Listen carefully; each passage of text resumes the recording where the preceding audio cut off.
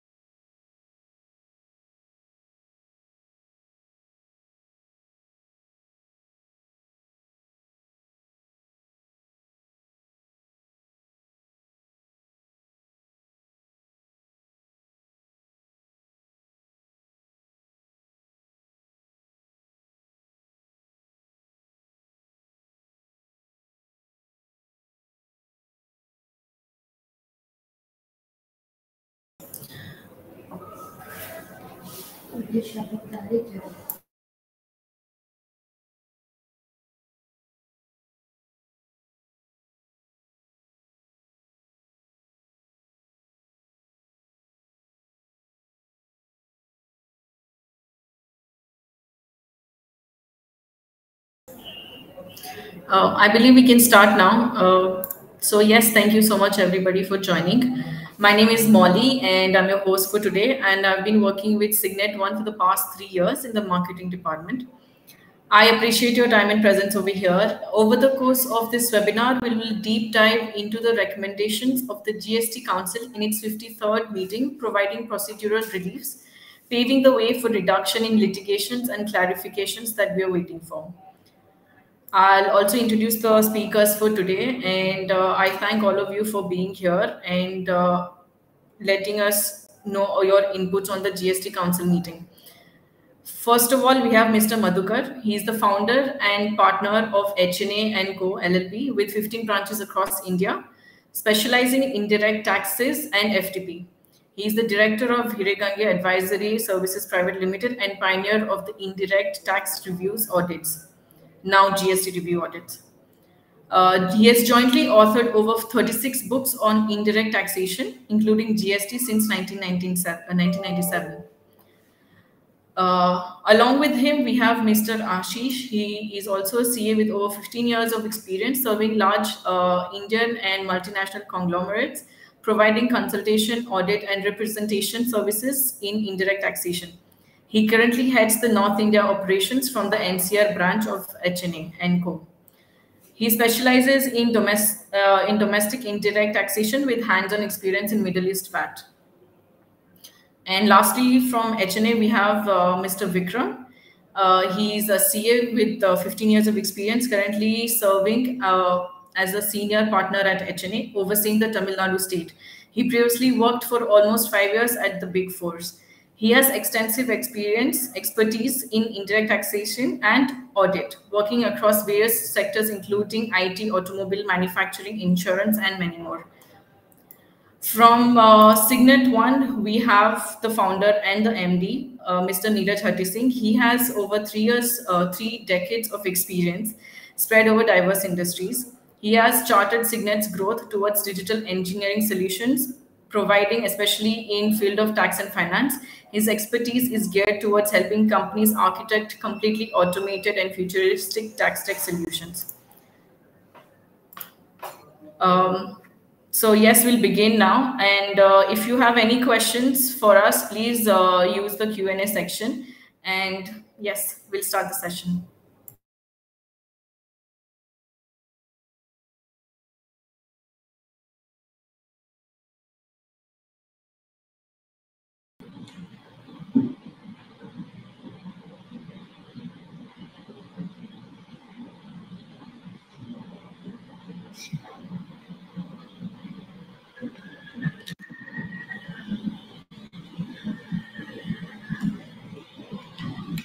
Uh, Madhukar sir?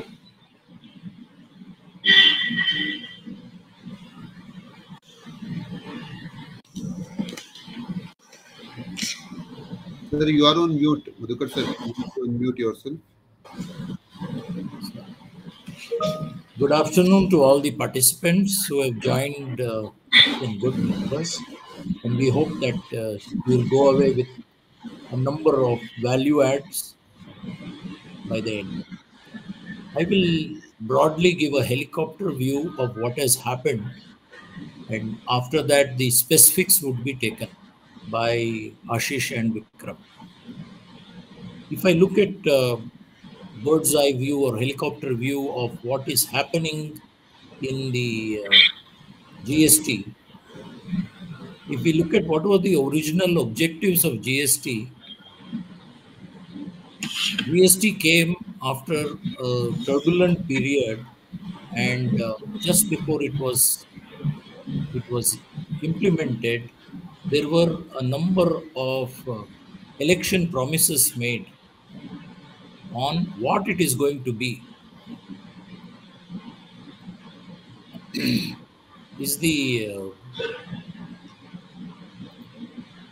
yeah the first one was that uh, we need to bring in more and more industries services into the gst net so that it gets spread across. And uh, maybe even the rates could be brought down over a period of time.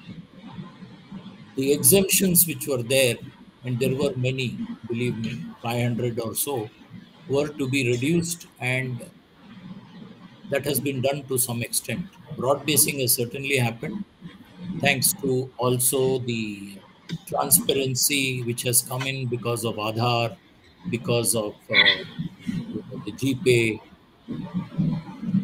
where even small businesses have been using information technologies to get paid. The second one was avoiding cascading of duties, which is a which is a big problem because it distorts the price of goods. Presently, we have the uh, petrol, diesel, gas, stamp duty not subsumed into GST, and that is certainly distorting uh, the cost of goods because it constitutes around six to seven lakh crores of taxes which are not subsumed. That means it doesn't get set off even though you use it for your business. In the past, under uh, VAT or in under central excise service tax, there were a number of artificial restrictions which were there. The promise was that these would be removed, but somehow most of them have continued. Of course, the advantage in GST was VAT not being uh, used for central excise or service tax and vice versa was removed. To that extent, cascading was reduced. However, even now we have some restrictions, and today also some attempt has been made by government to see whether some of some portion of the unfair restrictions are going to be removed. Making the law simple was one of the main objectives, but unfortunately, what has happened is that uh, the law is still fairly complicated. But instead of 11 laws, there is only one law. And in this GST Council meeting, also, we see that there is certainly a direction to see that some of these difficulties faced by trade are met. But I don't see the government biting the bullet and making the law simple. The compliance cost for the taxpayer, you know, though there are not multiple compliances, there are quite a lot. And this has been made more difficult because of massive number of changes and the draft has undergone a lot of changes. We also see lakhs of notices. This is a cause of real concern. While looking at all these and looking at uh, collection as the main objective, excessive powers have been given to the authorities, that is the executive. Making the law transparent and using information technology, I think government has done very well. And I understand that they are a bit ahead of the industry itself, which is really laudable. Collection cost, cost reduction for the government has, has been fantastic, you would say. You have also observed record collections month after month, year after year the other side of it, when GST was introduced, there was a lot of talk about knowledge and uh, updating the knowledge of the law because this was a new law.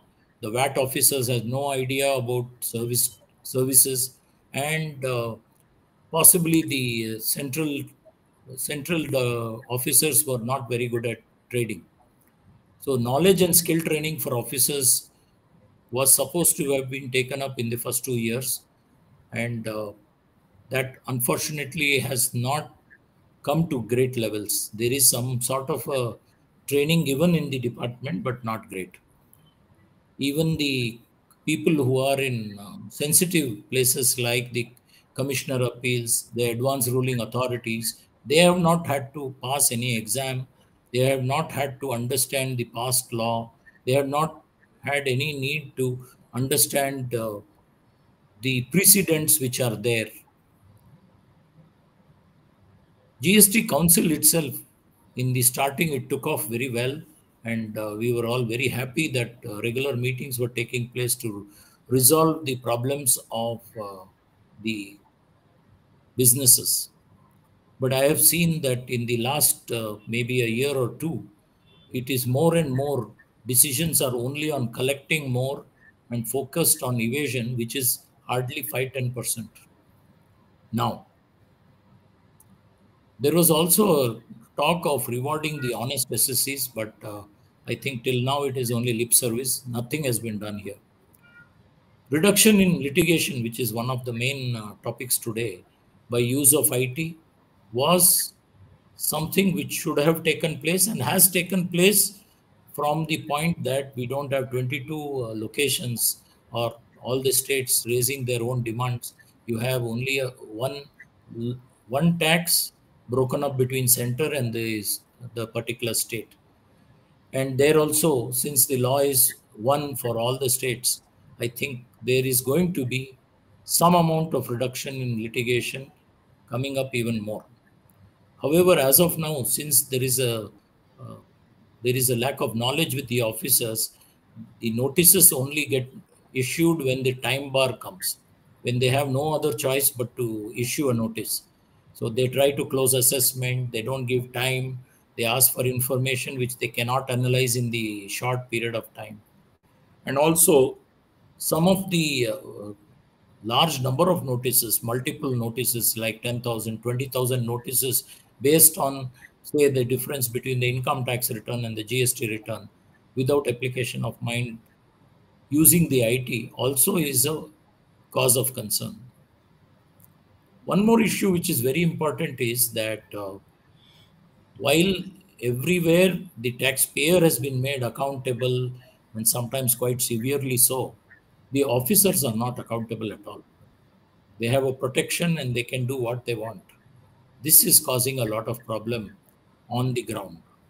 Specific observations for of on this 24th June, I mean uh, June 24 meeting, is that this is my uh, view. The spirit of genuine effort to resolve major issues seems to be missing, while many things have been touched and they are good. Minor movement of reforms I see, and I also see that the uh, the way the GST Council has given its minutes, uh, it is likely that again revenue will rule the roost. And uh, wherever benefits are there they will whittle down wherever there is a chance of some evasion those will be closed and even the tax compliant will get uh, impacted through the notifications and then the circulars unless of course they limit it. Major issues of complicated law have been uh, sidestepped. You would know that uh, this was a Khichdi law. It had uh, central excise, it had customs, it had VAT principles, CST principles, service tax principles, and also some of the foreign law principles. Presently, it looks like a band-aid approach to me, and uh, the major issues which are basic or foundational seem to be sidestepped. We have seen many issues in the many of the uh, legal disputes which could have been addressed in the GST Council, they have said that it will be in status quo. So I see dozens of them. And there are also some which are deferred. Classification is a very, very important area and only experts can do it. I see that uh, in spite of not being able to stabilize all the issues in classification, now they have given it to a group of ministers. How can this result in any uh, plus I cannot even imagine. Many of the beneficial me measures are not very clear.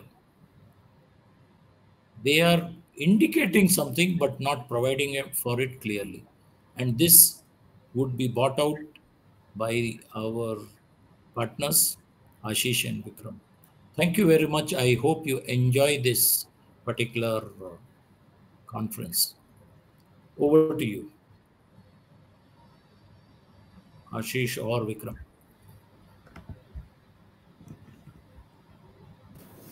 So, uh, sir, we'll take uh, Niraj sir's session first, wherein he. Yeah, yeah. Sorry, sorry, sorry. On... Yeah, yeah. Niraj, uh, Niraj, I would also like to listen. Please go yes. ahead. I'll just share my screen. And...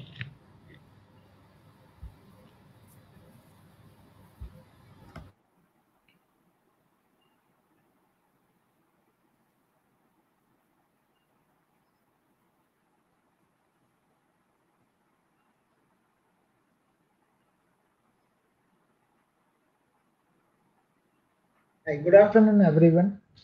I just want to uh, kind of uh, touch base on a small topic or actually a very large topic is that a new form or a new return is going to be introduced, which is GSTR1. And is it going to really make things simple for us? That is something I'll try and debate. Today, we don't have answers. I will just kind of raise more questions but there are many questions for all of us to deliberate upon it. Now, what GSTR1 allows that after you have filed your uh, return GSTR1, uh, kind of uh, you have filed your GSTR1 and you have some invoices which are missed out or you want to amend some invoices, GSTR1A will allow you to do that. So this is an interesting concept for somebody who has made a mistake in filing his GSTR1. And before you file your 3B, you are allowed to correct it. That is, having said that, any records that you missed out, you can add into it. As what as my team that they have put it across, it is very interesting in nature.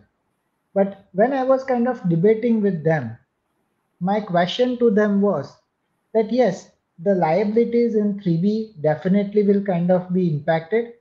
But what will happen to GSTR 2B? Will GSTR 2B 2A on a daily basis will get amended or corrected onto it? What will happen to GSTR 4A and 6A? And even in GSTR 9, it will have an impact. So without a kind of a robust technology solution to be able to handle all these complications in Excel files, how are you really going to handle this complication? So that was a kind of a major question for us. The caveat says that that the amendments will be allowed only once and records amended through GSTR 1A cannot be amended in next month. So this is what the caveat says. But multiple clarifications are required onto it and we will have to actually test out the system, how it works before we provide you many more clarification around it. The impact of GSTRA on a supplier is first mismatch in liabilities as per GSTR 1 and 3B will be minimized. Actually a good point to be done so that I have clarity as a supplier and I don't have that much amount of confusion. Users will now have to track liabilities reported, amended in GSTR 1 and reconcile with 3B. Some extra work for us, good enough. Next is recipients may follow filing invoices uh, into it. But what happens to the fee that has been submitted on 14? If you filed an amended one on 15 or 16, what will happen to that date? Any addition liability around due dates impact on provision. How to either make provisions for additional funds now, this continuous cyclic nature will keep on ongoing. For the recipient, honestly speaking, it's a nightmare because you are not sure the amount of tax credit that you are going to take into the whole system. So you have based your input tax credit on the GSTR 2B that has been available onto the 14 and maybe 2%, 1% or 5% of the invoices get amended subsequent to it. How you are going to tackle it? You have to kind of reconcile and like take the base invoices from 2B from that invoices, if any one of them have been amended, continuously monitor the 2A until the last moment. You cannot be sure about your liability. So this is going to be more complex and more complicated for the recipient in how they kind of file that. So up till now these changes were possible, but we were doing subsequent month. But today this will happen during the month. So this is going to be a little bit more complicated. The reliance on compliant vendors and reliance on verification of the data before you take invoices into your system are going to be the most critical parts around this. If we talk about the way ahead, I only have questions for it. That is this tracked over disabling editing of auto-populated GSTR1 for taxpayers generating invoices? So this is one because editing will be uh, stopped or editing will continue we are not sure about it. These invoices of past months generated post filing of GSTR 1 be auto populated in GSTR 1 making an addition to the liabilities in GSTR 3 unless and until we test it into the system and debate it with GSTR, we will also not be sure about it.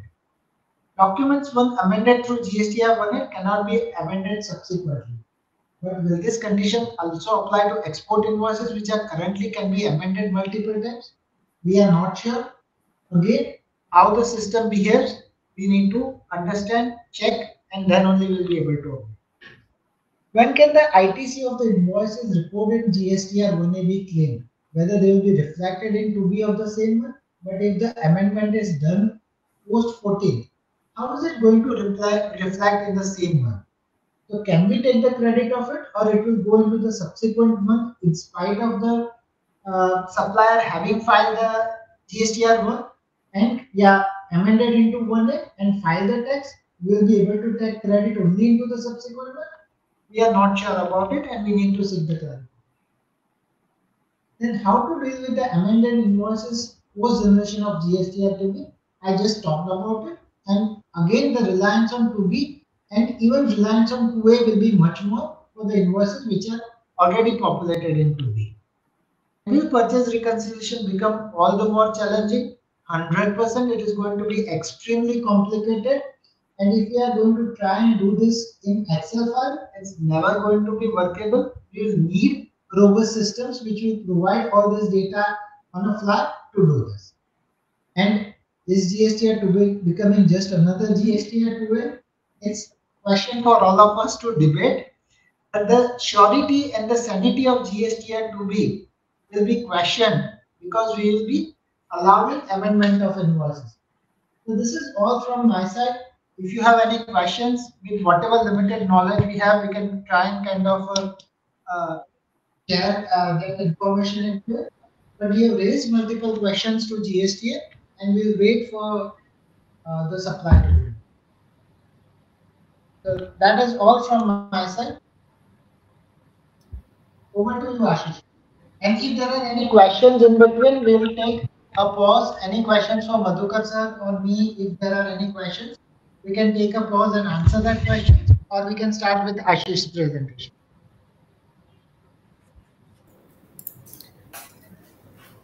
Molly, are you seeing any questions into the chat Yes, window? yes, sir. There is a question. Uh, I'll just read it out for all of you. We have Yeah. paid penalty on GST ITC disallowance as per the assessment order for the FY 27 2018 and 18 19. Now waiver for was announced. What should we do? Uh, Molly, Yeah. uh, I suggest if we finish the technical deliberation, post And- which we can take up uh, these questions. Question. So only if there are questions regarding 1A or what Madhukar said, we should address it now. Otherwise, we should wait for the technical deliberation because a lot of these questions will be answer, answered in what Ashish and Vikram are going to talk about. Okay. I then I believe we can move on. Sure, we can move on and we can start with presentation from Ashish. Yeah, I'll just share the screen. Uh, Molly, if you can confirm if my screen is visible. Yes, Vikram, it is visible. Yeah. So thank you. Uh, first of all, uh, all of us have gone through tremendous number of calls in the last three days, I would say. So because of which a few of us are also having a sore throat. So uh, excuses for that.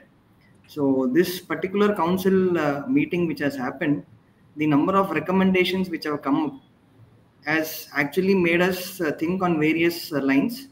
But certainly, before we get into any conclusion, we all have to be very clear is that the various recommendations of the council, some of them have to undergo a amendment in the constitution, some require an amendment in the act, certain uh, proposals will actually come through uh, circulars.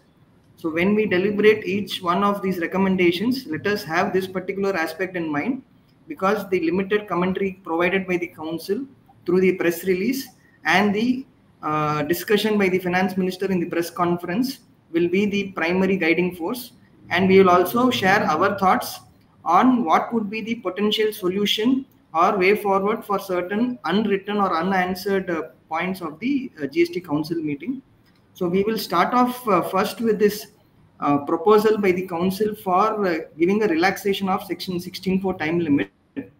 So Ashish, uh, if you can throw some light, considering that recently the Kerala High Court in the case of M-Trade had uh, given a retrospective application of the time extension of November to the previous financial years and also that uh, particular case of AP High Court of Tirumala Plywood where they actually touched upon the point that uh, once return is filed belated beyond the time limit of 16.4, no benefit of ITC will be available. So considering this recent background of this Kerala and uh, AP High Court, if you can throw some light on what the council has actually recommended in this uh, 53rd council meeting. Yeah.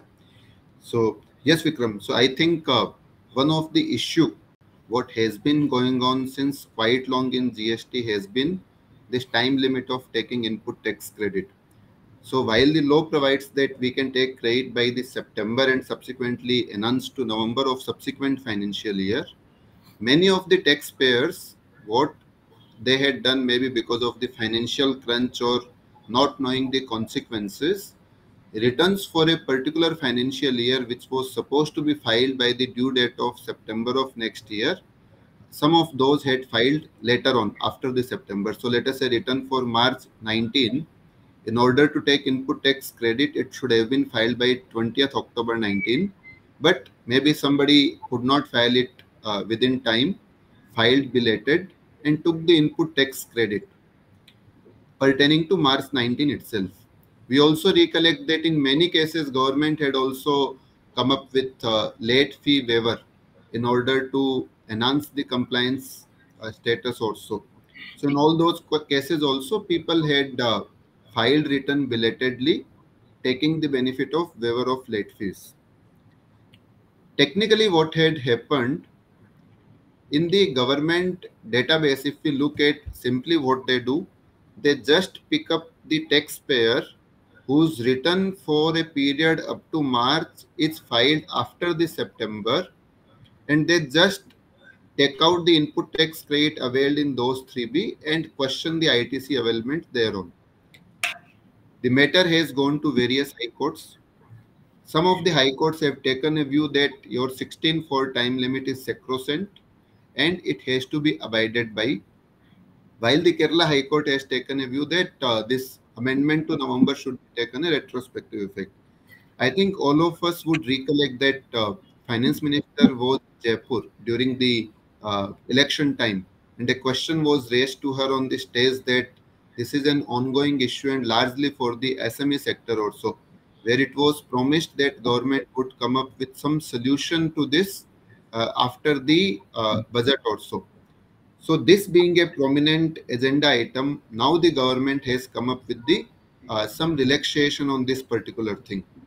So now what the relaxation provides, it says that if your input tax credit for 1718 to 2021, if this input tax credit is availed in any GSTR 3B filed till 30th November 2021, then your input tax credit availed would be eligible input tax credit. Now first look at why they took 30th November 21 because that was the last date at different point of time where this extension uh, waiver etc were given from the late filing phase or So So that is why they have chosen that cutoff date of 30th November 2021. Uh, but if you look at the press release, it brings a very important question to ponder upon the question is uh, the question is let us say for example for 1718 input tax credit i missed to take it in any return for the september of the next year which was later on let us say extended till march 19 let us say gstr 9 when it was prepared in 2020 then some taxpayer observed that some credit might have been missed by him. And that credit was taken let us say in the december 2019 GSTR 3B. That is after the statutory date of the time limit.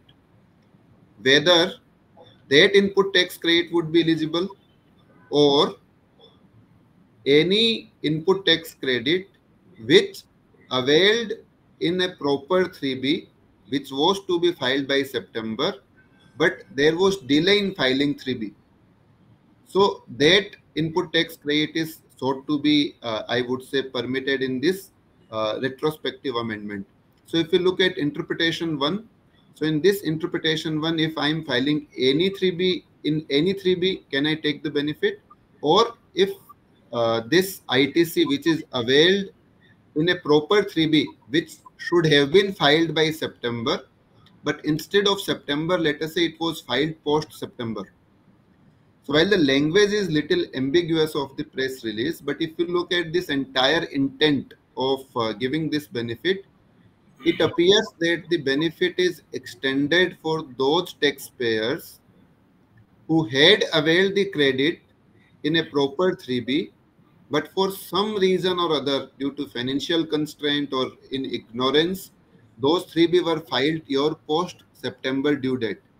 So it is very unlikely that government will extend the benefit to the taxpayer if let us say for 1718 invoice ITC is taken in the GSTR 3B of let us say October 21 those type of instances in my view may not cover in this relaxation but yes we need to wait for the uh, uh, I would say finer print of the amendment what is being proposed in the law.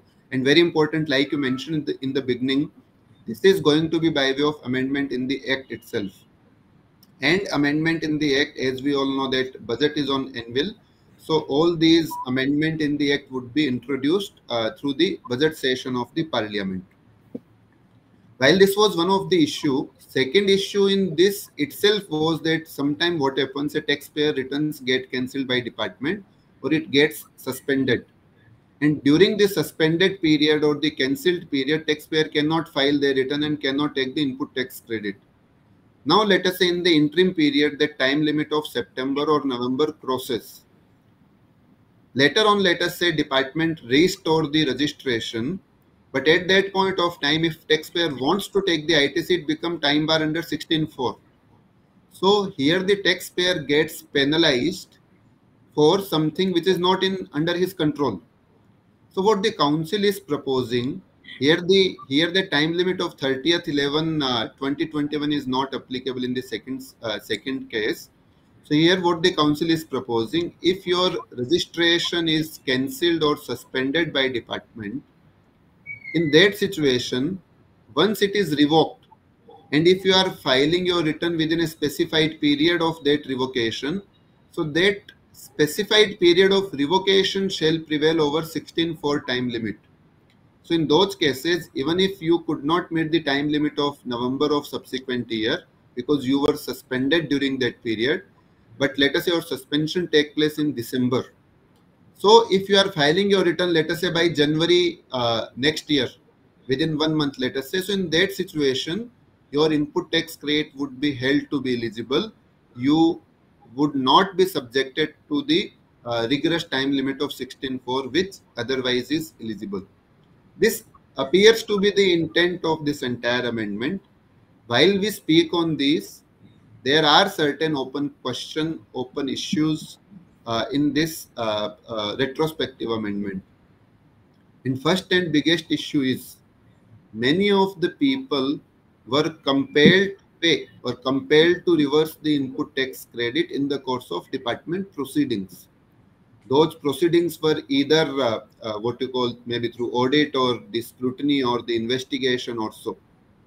So now the question would arise that the taxpayer who has already paid the amount, maybe with or without interest penalty, would they be entitled to avail this benefit of retaking the credit or would they not be entitled to take this benefit?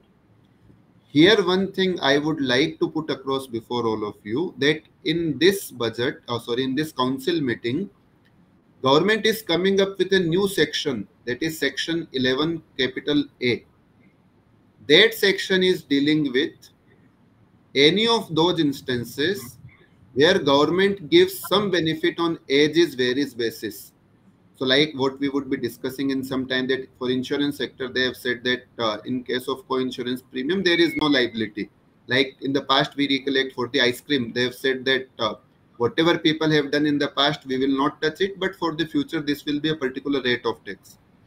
In order to enable those type of situation, government has introduced section 11A. There were similar section used to be under the central excise and the custom sector. Now the question comes that whenever any clarification or I would say benefit is given by the council by way of insertion of that entry or under the section 11a there appears to be restriction on the refund. So if somebody had paid taxes on the ice cream let us say at the higher rate in the past but government clarifies that uh, it is not liable or liable at lesser rate then in that situation the person who has paid higher tax cannot claim the refund but here, when we are talking about this particular amendment, this amendment is not coming under the section 11A. This amendment is likely to take place by way of amendment in the 16.4 itself. And when we are looking at the amendment in the section 16.4, a question would arise, can I claim the refund of input tax credit, what I had, what I was made liable to reverse by the department action in the past? There is no clarity as of now in the council uh, release, but the way this entire things have happened over last five six years, they may come up with uh, those restriction, and that is where any amnesty scheme where people who are the compliant or who wish to avoid the litigation, they always end up in uh, being on the poor side. So in case if there are any restriction by the government on the refund, then certainly the taxpayer would have no option but to reach to the court or we also need to see on the finer print whether the restriction uh, that uh, whatever is on the refund can the restriction is there on the recredit also? So let us say if i filed 3b in 2020 pertaining to 1718 once i had taken credit in that 3b Now, when the government is regularizing that credit, any amount what I had reversed in the past in that GSTR 3B on the department intervention, now can I claim that once I had taken the credit within the time limit for the first time, recredit of the same cannot be questioned by department and I should be entitled to take credit. In my view, merely because this amnesty has come, the people who were made liable to pay should not get suffer on account of that. But yes, we need to wait for the final print of the uh, council uh, that amendment what is going to be in the act so like this uh, there could be many people who could be in the appeals or writ matters. So in those situations also if uh, one need to take this benefit certainly it would be better to withdraw the matters for uh, uh, withdraw the matters from that writ or appeal in order to claim benefit. Again question will come that if somebody had paid the interest also while reversing the input tax credit can they claim refund of the interest? Again will depend on whether what type of provision government is going to come with. If there are restriction on refund that interest refund could get become difficult unless we reach out to the court. Because unlike uh, what you call input tax rate which i can re-avail myself in 3b here the re-availment or the interest whatever i have paid there is no provision for the suo moto taking benefit of that interest paid. So these are some of the issues again the cancel dealer how this will have 16.4 impact and maybe delayed filing of r1 by supplier. So these things are open issues before the industry. Let us wait and see how the council is going to come up with this proposed amendment to finally evaluate the impact under the 16.4 vikram anything you feel which uh, under 16.4 uh, which uh, our audience should take care of uh, uh, at this stage of the clarity whatever has come up with? Yeah i think one learning for all of us is that uh, even in the past where the clients have approached on the 16.4 issue whichever clients uh, we have uh, litigated the matter so this relief will be available certainly the same can be applied in your uh, example also ashish wherever you see a, a small hope or a, a, a small light in the tunnel i think it is always worth litigating the matter but not at the cost of incurring uh, uh, a higher litigation cost as compared to the benefit. But uh, these kind of uh, exceptional moves by the government certainly can be taken advantage of. Yes. So I think the second uh, and the one of the again biggest uh, uh, relief where Vikram we would like to understand from you that yeah we all know that since beginning uh, actually the tribunal has not come in place. There were extended extension in the GSTR 9 and there have been extension by government in the time limit under 73 and 74 so in many cases what we have seen that the demand what has been imposed on the taxpayer in the interest on that demand. If let us say any matter is of 17 18 the interest itself is crossing the basic uh, tax liability also. So this government has come up with uh, this clarification or the benefit uh, of waiving uh, this waiving the interest and penalty. But when i see it i do see like many issues coming that uh, uh, when would i be entitled to take this benefit? If i am litigating the matter can i claim that benefit? If i am at the appeal stage versus at audit stage what if notice was issued to me under 74 uh, can i claim this benefit also so there are various queries what we are getting from the taxpayer maybe your uh, analysis based on this council uh, uh, clarification as to how should taxpayer proceed on this particular part. Yeah. So interestingly, uh, we have come across various cases where, say, the uh, assessee has a tax demand of only three lakhs, but the interest penalty put together with the tax amount itself is about seven and a half lakhs. So that is the, a very dicey situation for the assessee also because the interest cost was too burdensome. However, there have been very various cases where uh, to avoid further litigation, the taxpayers could have settled the demand at that stage itself. Now here we have an interesting case where uh, the council has uh, recommended insertion of a new provision which is section 128a. I think majority of the discussion in the last few days is primarily on this particular topic where there is a conditional waiver of interest and penalty. It is only on interest and penalty. There is no waiver or a scheme to give a benefit of tax uh, liability reduction so this waiver is available only if the total GST demand has been discharged by the taxpayer on or before 31st of March of 2025. So the financial years covered in this particular amnesty scheme are the first three years of GST implementation. So also if you look at the logic is that the time limit for issuance of show cause notice under the normal period has lapsed, uh, has completed for the FY 1920. So that is why they have considered the first three years. The benefit of waiver is not available if you decide not to pay a particular demand in the show cause notice or the order. So instance, you have five issues covered in the show cause notice. Four of the uh, demands in the notices, you have decided, okay, you can settle the matter. But there is one major demand which you want to contest. The waiver in this particular uh, provision will be available only if all the five demands are settled.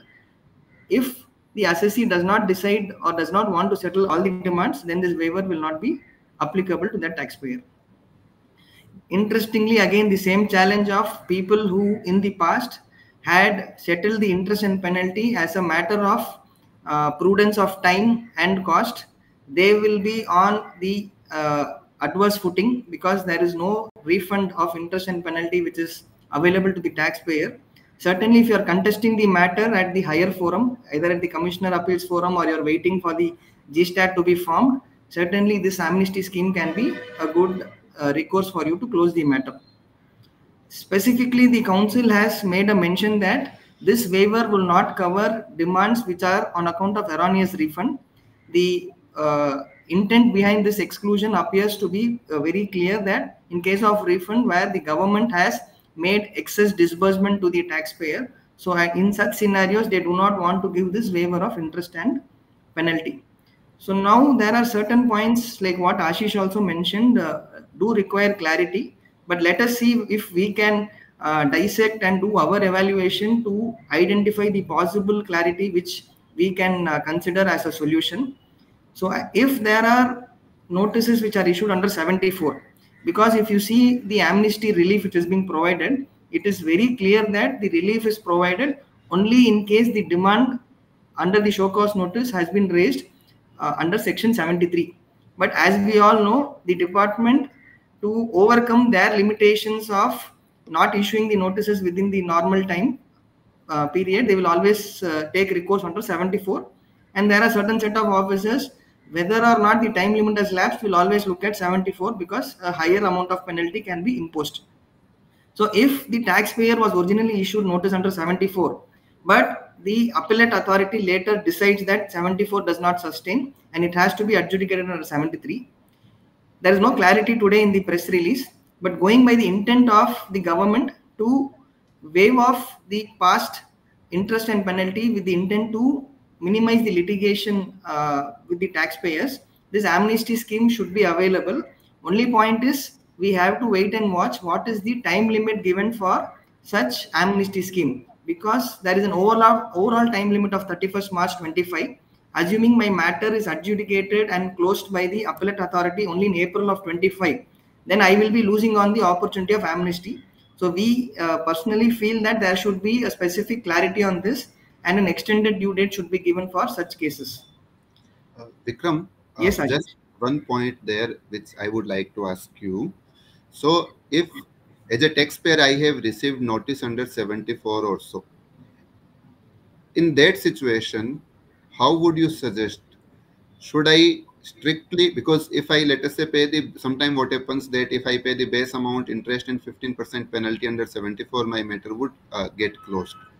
But like you said that it is not there is no clarity as of now but looking at the intent uh, the benefit should be given in those cases also that uh, 73 it gets adjudicated or uh, appeal it appeal stays converted into 70 the benefit should be given so the focus of the taxpayer how should that focus be there that they put across this 74 ka conversion into 73 so would you just put little more practical insight for the taxpayer as to how they should contest their matter in those situations yeah, yeah. i firmly believe that about 99% of the department uh, proceedings under 74 will never sustain because they, they do not have proper basis to justify the uh, provision invoked in such cases under 74. So wherever the show cause notice has been issued, certainly this matter has to be uh, contested and if possible, when you're contesting the matter, because the authority also have an option to move the demand from 74 to 73, if that communication can also be made as an uh, without prejudice uh, submission, it is possible that we can get the matter converted to 73 and then look for uh, the, the discharge of the GST liability. But uh, paying the penalty at 15 percentage uh, certainly is not something which I would want to do. But uh, as the amnesty stands today, Ashish, since 74 is specifically excluded, I think it has to be contested and hope to uh, get it converted to 73. Yes. So wherever the matters are already in appeal or writ, where you are contesting the particular demand, uh, primarily where the, uh, the exposure of interest and penalty was uh, the deciding factor for the assessee to go for appeal. So in such cases, you can explore the possibility of withdrawing the appeal or the writ and then opt for the amnesty scheme by discharging the tax liability. Uh, now, what in cases where the appellate authority has also decided the matter and you are uh, possibly waiting for the GSTAT to be formed? So, even in such cases, uh, once you settle the tax liability, the entire matter would be considered to be closed. So, I think this is a very good uh, scheme available, specifically in cases where the tax demands are not significantly high and the complete waiver of interest and penalty can be sought for. So, this is only for the first three years. We all hope that the government may consider such further amnesty in the future period but let us wait and watch uh, and uh, follow what is currently available with us. Maybe vikram a couple of points i would just also like to add in the previous deliberation so sometime what has happened in some of the states uh, audit has taken place for a particular uh, period but the culmination of that audit has resulted into separate show cause notice for separate audit para in some of the state it has been done that way so probably those taxpayers are at a better footing today because it talks about the entire demand of a particular show cause notice being discharged. So out of those 10 audit paras, if I feel okay, it is worth foregoing to six paras, which have converted into six cause notice, yes, I could possibly look at uh, this particular benefit. But the problem would be in those cases, Vikram, I think where sometime central department or so have taken the block of period of audit. So now let us say period falling is 1819, 1920 and 2021 where there are various issues involved. Now out of those three year only two years are covered in the amnesty scheme but not the third year. So how would whether that proportionate or pro rata payment of tax liability would uh, deem to be satisfaction of this condition of the amnesty scheme? Again, I would say uh, not a clear matter how all those things would be there also. But uh, if I look at uh, maybe one more example, many of the people were made liable to pay ITC reversal on account of non-payment within 180 days. In those cases, the liability happens to be only for the interest also because ITC anyway, if I take later on, it becomes regularized. So these type of issues where there were some uh, delays for some compliance or so where only interest liability etc is there it is going to be very uh, beautiful position for those taxpayer where they can get away with uh, uh, this entire demand of interest or penalty what would have been imposed by department on them as a business as a consultant what we need to keep in mind to dig out all the past submission made to see what submission are going to be made in the near future for various open matters. Start including this as one of the ground in the submission so that it should not happen tomorrow that this spray itself has not been made.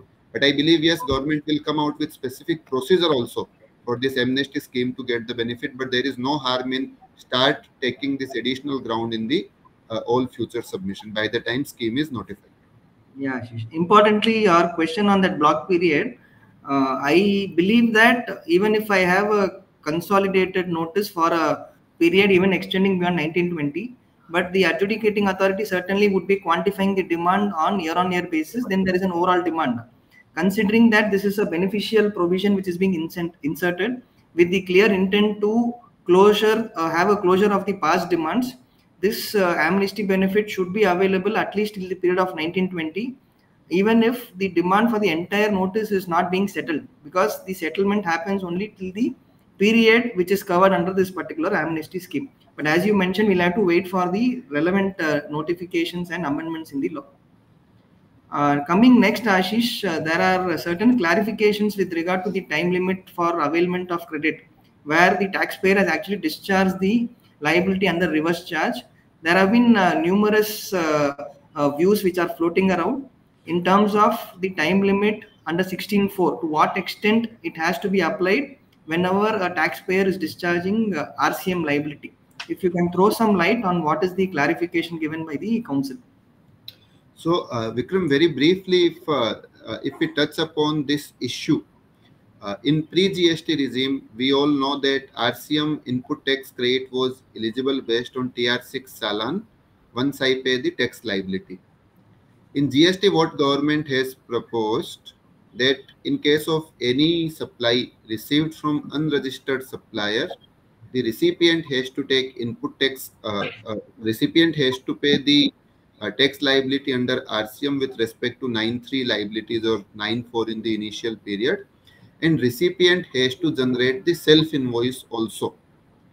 So the question what was before the trade at large is when should I look at my ITC eligibility? So let us say for any tax issue of 1718, audit took place in 22. In the course of audit, department sought to uh, uh, uh, claim some RCM liability against me, which I was compelled to pay in the audit proceeding. Now the question comes that because the supply pertained to 1718, can I take input tax credit of that RCM liability which I am discharging in the financial year of 2020, uh, 22-23, where already 16 for time limit has crossed over. So that was an ongoing issue. Now, what the uh, council is intending to clarify in this particular stuff is that levy of tax liability under RCM is independent of ITC eligibility. So while the time of supply provisions under your section 13 read with section 31 provides for the RCM liability that within 60 days from the date of receipt of supply or so.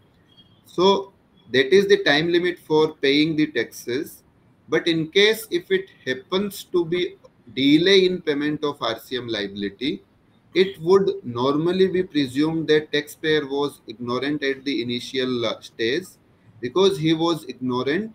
So later on, it was when it was pointed out to him, he paid the tax liability, and because he is paying at the later stage, certainly the corollary to that self invoice is also expected to be raised at the point of time of paying the tax liability. In my example 22 23 so when the self invoice is generated in 22 23 tax is also paid in 22 23 along with the interest because time of supply had already taken place in 17 18 so what the uh, press release says that in these cases the itc eligibility should be seen not from the date in which supply has taken place, but from the date on which I have raised the self invoice post payment of tax in cash uh, under the RCM.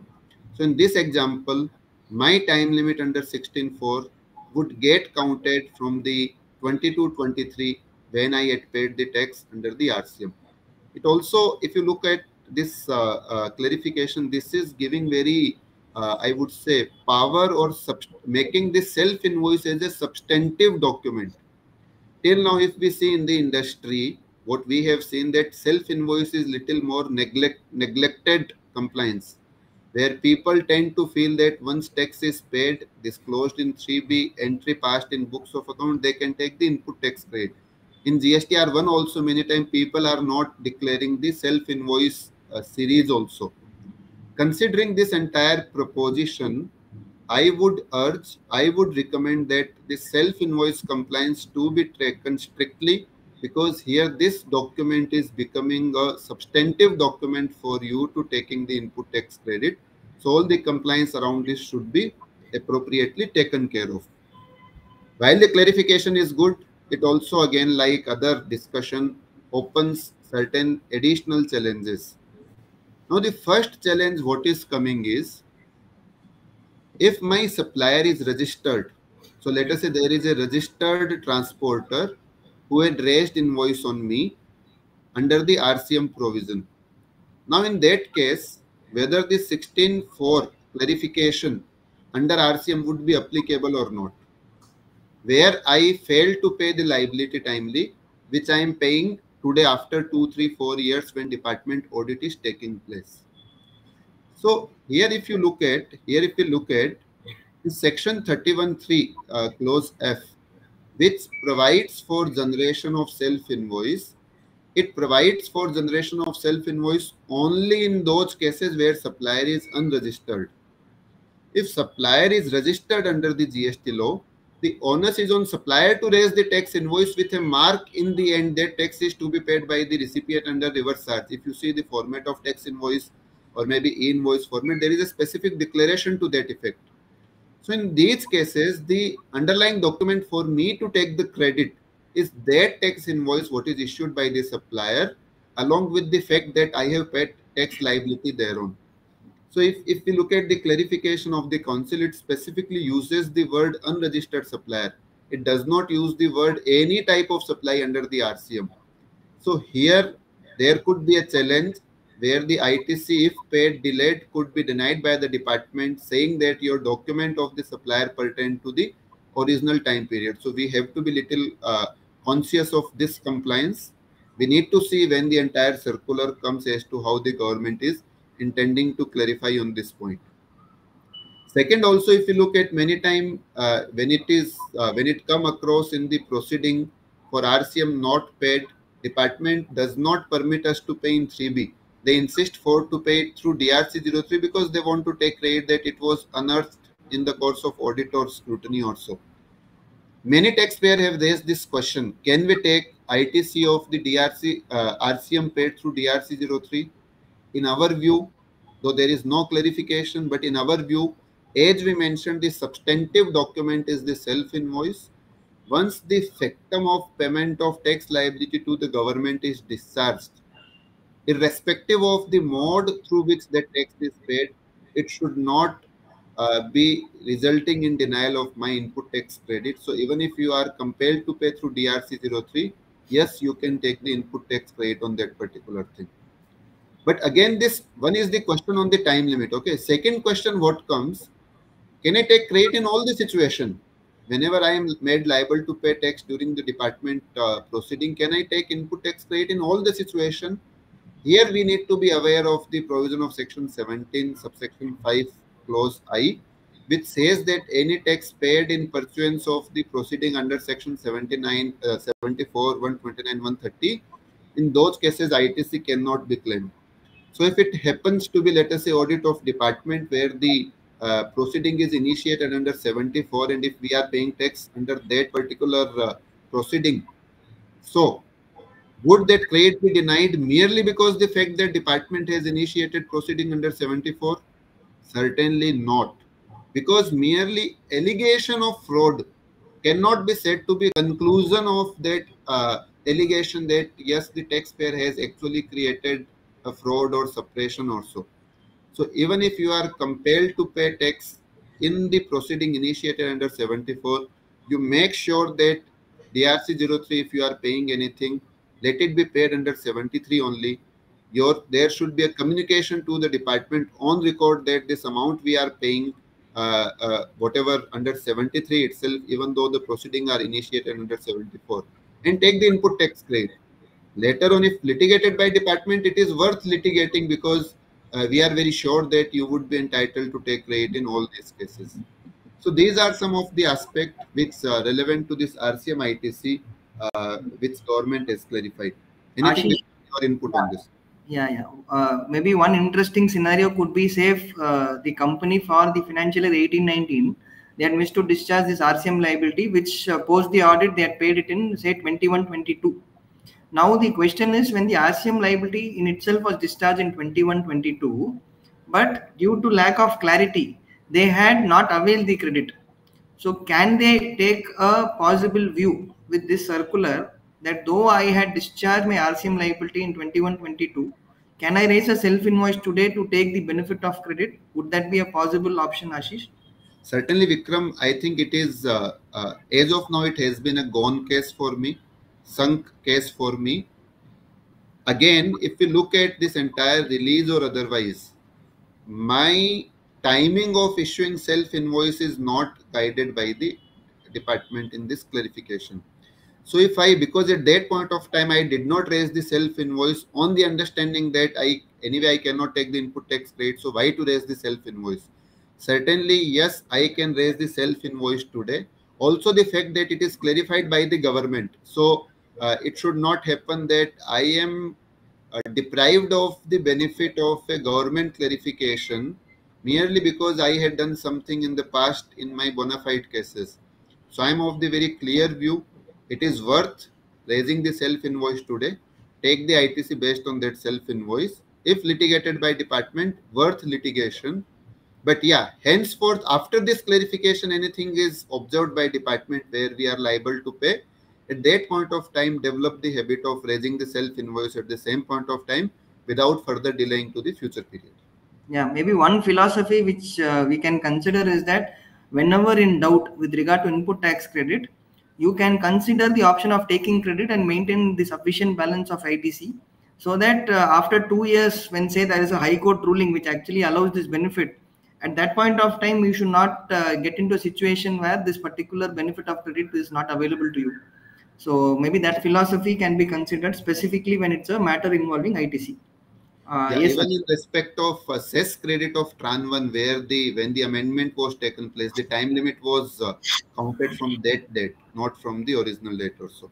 Yeah. Yeah. So uh, maybe Vikram, I think uh, this time council has come up with many uh, bold and out of the box ideas also. So when this entire new thought process, what has been seen is this insertion of section 74A wherein uh, yes as of now where there are the differentiation between 73 and 74 in terms of time limit of issuing the notice time limit of passing the order uh, impact on my penalty if i if it happens to be assessed under 73 74 sometime if assessed under 74 the impact under income tax also because uh, if it happens to be let us say some uh, allegation of the bogus cases also where the corresponding provision is made on income tax also to levy the penalty.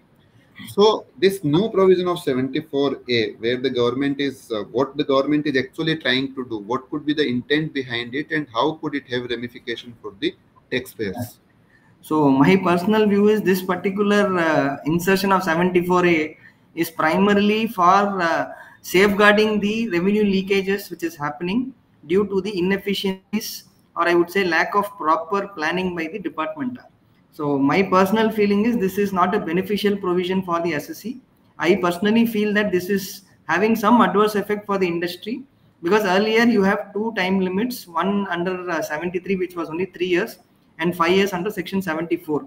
And as I firmly believe that 99% of the cases will never uh, qualify to be fitting under 74. Now because of these inefficiencies of the department, uh, more often than not, they will resort to 74. And there could also be cases where SCN is issued beyond three years, which is two years, nine months, and three months for adjudication.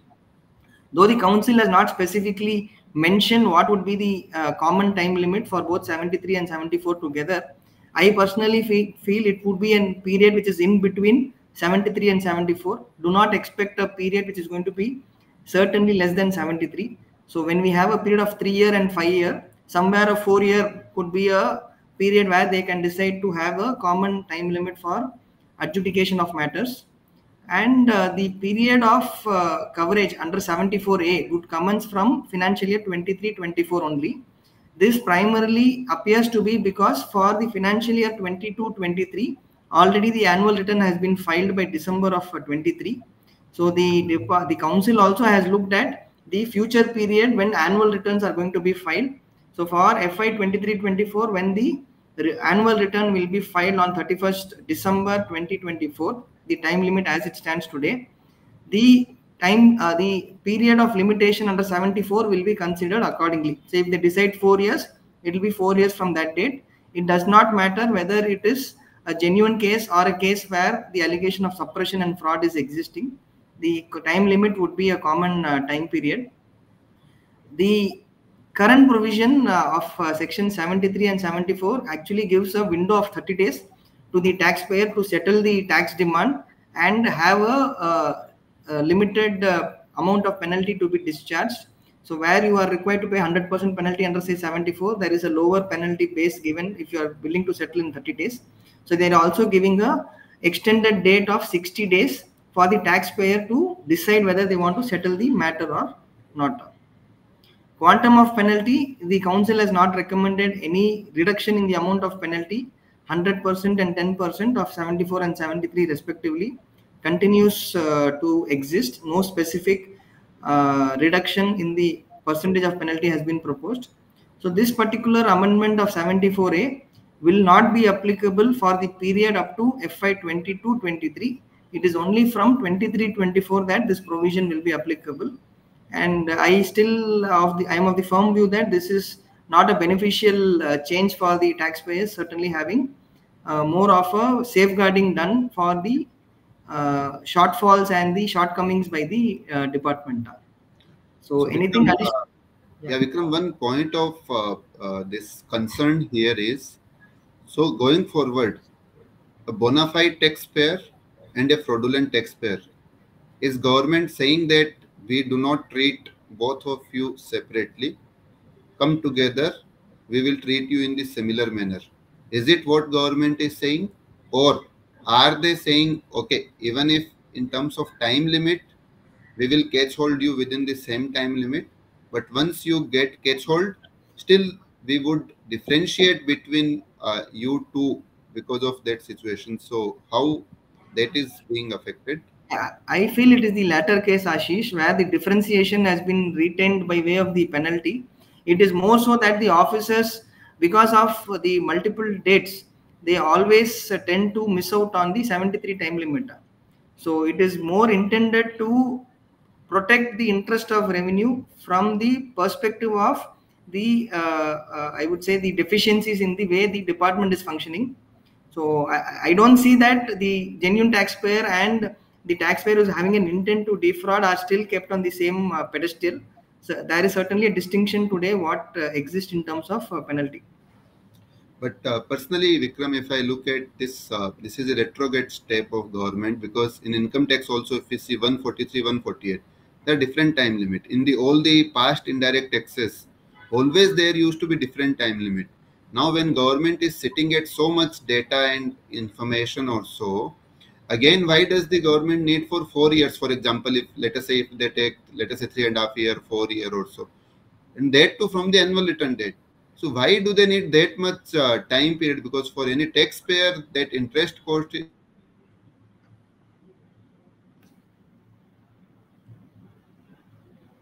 Hello.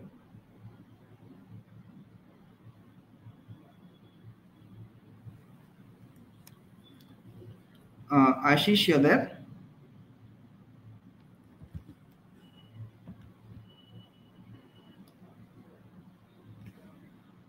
Uh, can someone confirm if I am audible or uh, I don't know? Yes, Vikram, you are audible to us. Yeah, so I certainly. we have lost Ashish in between. You are audible to. So certainly this is not a, a I would say a beneficial move. So I certainly agree to the point that it is an adverse uh, uh, provision which is going to be implemented specifically for the genuine taxpayers. But intent of the government to still have the distinction appears to exist because of the different penalty norms which are uh, in place today. Uh, can, can someone confirm is Ashish has joined? No, he is not joined yet. He is not joined. Okay, so we'll proceed with the discussion. Uh, the Vikram, continue uh, till he joins. yes, sir. So the next uh, clarification which has been provided or a recommendation given by the council is uh, with regard to the corporate guarantee, where many of the taxpayers in the recent uh, few months have faced the enquiries from the department side, specifically to ensure that uh, the taxpayers have discharged applicable GST under RCM or under forward charge for these corporate guarantee transactions. So with this regard, last year there was an amendment in Rule 28.2 where they had inserted a deeming provision of 1% to be the valuation in cases where this uh, corporate guarantee has been offered or the actual consideration whichever is higher. So that was a amendment uh, made under Rule 28. Because of this amendment, there are various confusions amongst the industry and the professionals For example, whether this corporate guarantee ka 1% I have to compute for every year, whether I have to take the actual guarantee amount given or the guarantee amount utilized. Because you may have various cases, say the holding company has given a corporate guarantee of 10 crores to their subsidiary, but the subsidy and it's a blanket uh, guarantee given by the holding company. But for uh, practical use, the subsidiary might have used only 4 crore of the entire uh, 10 crore basket uh, or the umbrella given by the holding company. So in that cases, there were a lot of uh, doubts whether the entire 10 crore has to be considered for the purpose of this 1% valuation or we can restrict the value based on the actual usage of the corporate guarantee. So various uh, uh, doubts and queries existed in the industry. Now the clarifications provided by the council are on various lines. The first clarification is when my rule 28 also has a deeming fiction where the other person is eligible for full credit with regard to that proviso, then whether I can still take shelter of that proviso ignoring that 1% amount of guarantee which has been offered. So here even zero has been considered to be a value that uh, benefit of the provision has also been extended here and this particular val deemed valuation would not be applicable for export of services. Yeah, Certain points, Ashish? Yeah. So yeah, so the issue in case of uh, export was that if my subsidiary is outside India, and because uh, this is a deeming provision of paying the tax liability, so I cannot realize the full value from the subsidiary. So my export of service definition says that if you do not realize the full value, it will not be treated as export of service. So that was a question where the council is uh, now contemplating to exclude the recipient who are based outside India, outside India under the uh, this uh, amended provision. So that is how this benefit is sought to be yeah. given for the parties outside India. Maybe one of the thought process, Ashish, which the council has taken is that the benefit of uh, the provision under Rule 28 applies to a recipient who is eligible for full credit. In case of export transactions, since the recipient itself is outside India, the question of uh, full credit does not arise. So maybe that also could be a thought process to uh, say, mention that this uh, deeming will not be applicable. Yes. So maybe uh, if you look at some of the open issues which uh, council is uh, council has been expected to take and where the industry has represented also. One issue has been this 1% mechanism. Is it per annum basis or let us say if guarantee is given for five years. So 1% into five, how should it be paid? So if you look at the exact wording of the present rule, it does not say the 1% per annum. But the basis which this rule has been introduced is the safe harbor rule under the income tax, under, under the transfer pricing, where it says that uh, the uh, corporate guarantee whichever is higher. So if under the income tax act provision, whatever provides for annual valuation, if that type of uh, interpretation is clarification is given by the council, then certainly they have to make uh, a suitable amendment in the rule. If that happens to be, then uh, the liability would be on per annum basis. Second, uh, could be the situation where let us say guarantee is given for 20 crore rupees, but actual loan is taken only for 5 crore rupees by the uh, borrower so in that situation, whether liability is on 10 or uh, 20 crore or 5 crore. So in our view, that liability should be on the total value of guarantee extended, not on the value of benefit or facility enjoyed by the beneficiary from the bank qua that guarantee also. So accordingly, the value of guarantee need to be considered. Similarly, for co-guarantors, where uh, let us say uh, two guarantors are there for a single uh, facility sought to be taken by the beneficiary from the bank. So in that situation, it cannot happen that if 10 crore is the value of loan, so 1% for the guarantor A, 1% for guarantor B. That is not, uh, that cannot be the right proposition. So again, in our view, uh, this uh, should be taken in totality and the respective share should be charged by the respective uh, party. If recipient is not eligible for full ITC. In fact, that is the biggest problem. And that is the biggest area where government wants to take this benefit of, let us say, infra sector or real estate sector or where this guarantee is extended, but the recipient can't take the credit now because credit cannot be taken. this open market value would uh, come into picture. Overseas company.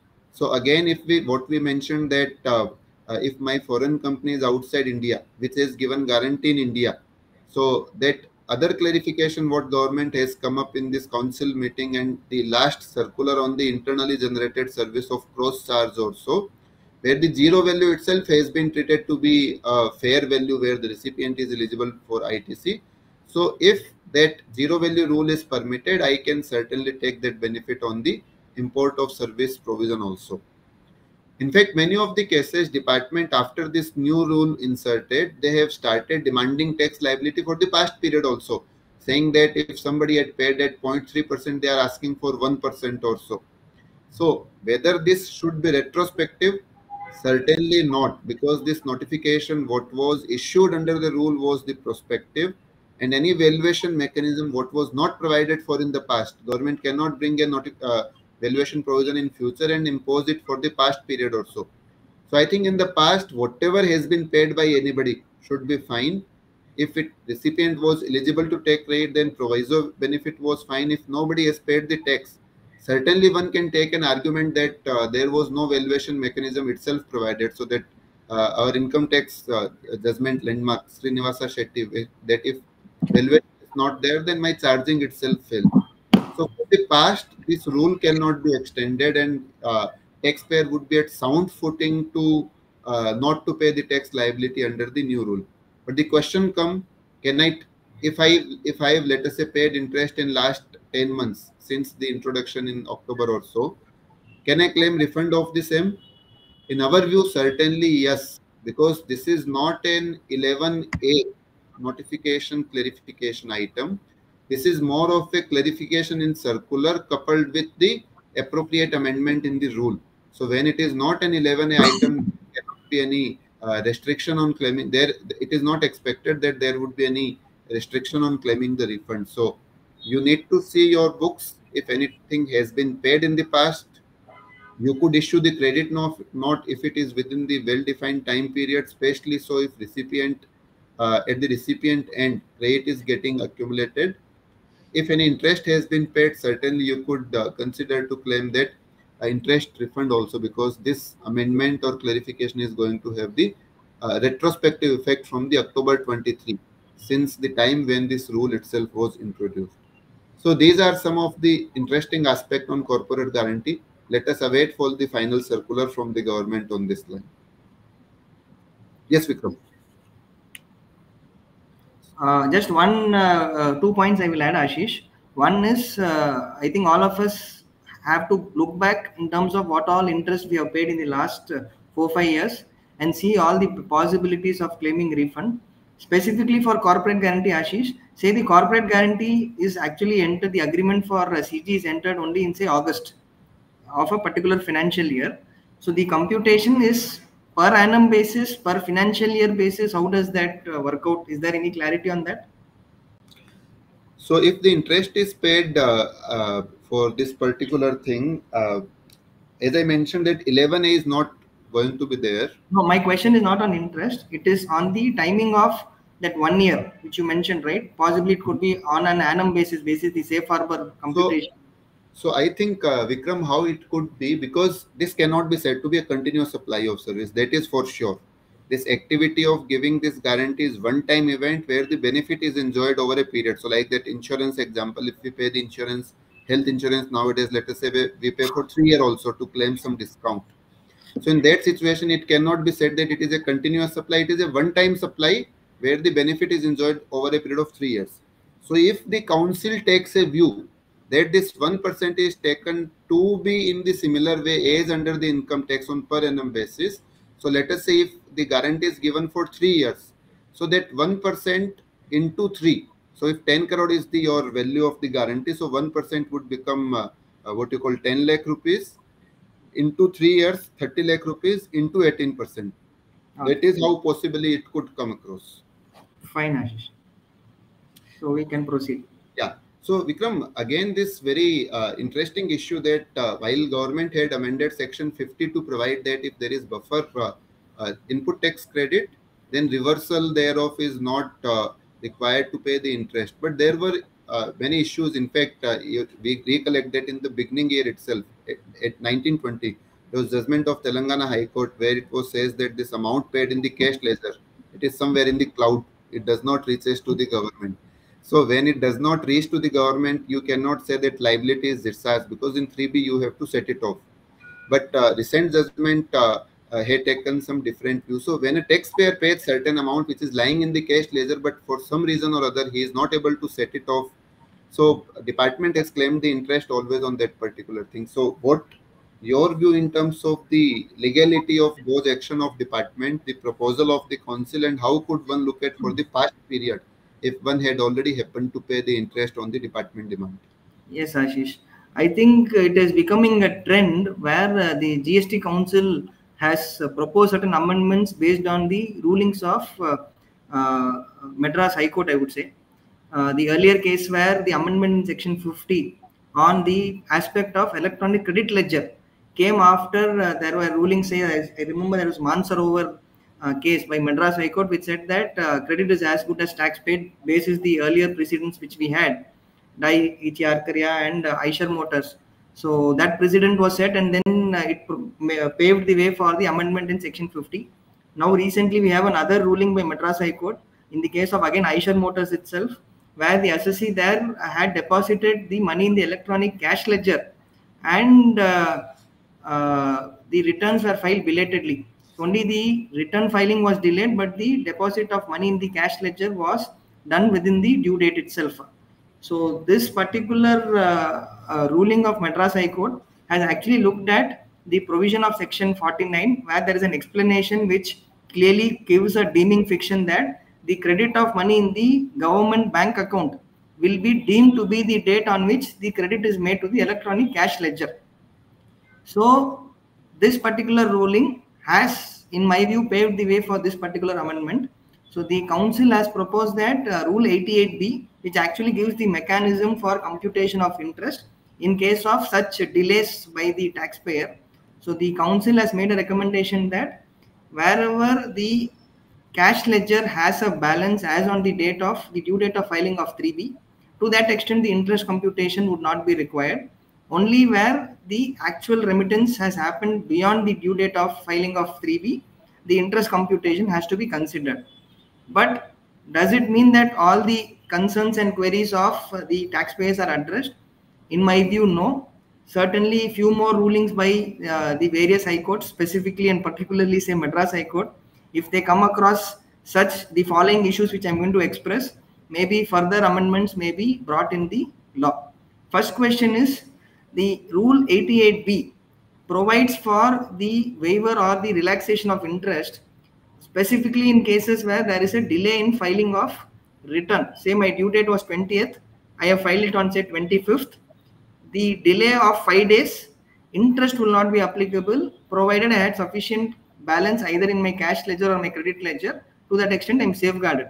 But what if i have filed all my returns within the uh, statutory due dates but few invoices I had missed to discharge the liability when I filed the return for that particular month. Say the liability of April 24, I have filed my April return by 20th of May, but I have identified certain invoices not considered in my return computation, which I am discharging in my June 3, GSTR 3B return.